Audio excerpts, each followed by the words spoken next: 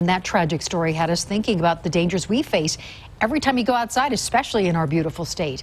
Well, Denver 7's Russell Haythorn reminding us tonight that encounters with wildlife don't just happen in the mountains, Russell. Yeah, and experts say because of urban encroachment, those wildlife encounters are becoming more and more common, even in places you might least expect, like here along the Cherry Creek. I grew up in this state. I've seen these encounters firsthand.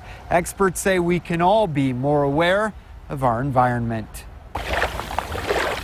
Just yesterday, Denver 7 photographer Jacob Curtis encountering this fox while on assignment. Whether it's Florida or Colorado, uh, wildlife are, you know, all around us. Up at the Chief Hosa campground. Looking for animals uh, and keeping the girls closer. For the Briggle family, the Florida attack is certainly top of mind. The spot we go, there's always moose coming through. Something we're practicing with the girls, keeping them close. Although wildlife attacks are rare, they do happen. Since 2010, there have been four fatal black bear attacks in the U.S. and eight fatal grizzly bear attacks, five of those in neighboring Wyoming.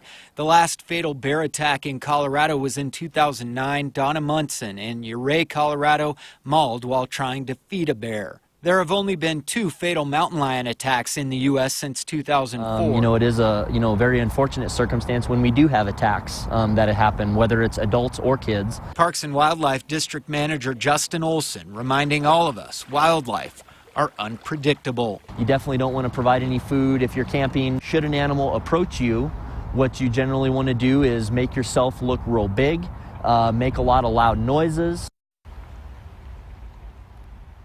Since 1991, there have been three fatal mountain lion attacks in Colorado.